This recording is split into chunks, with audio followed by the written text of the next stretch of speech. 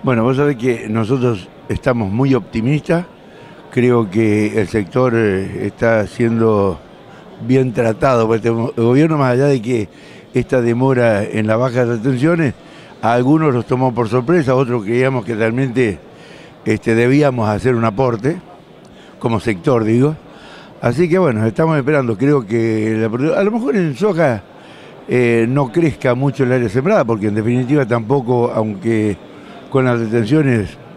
eh, que con la caída de detenciones hubiera sido distinto. De cualquier manera, hoy hay mucha expectativa con el maíz, mucha expectativa con el girasol mismo, que se, está, se ha sembrado mucho más en el norte del país.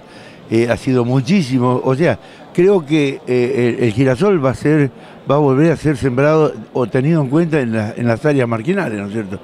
Creo que este, el trigo, el trigo soja va a ser otra alternativa muy interesante para la producción.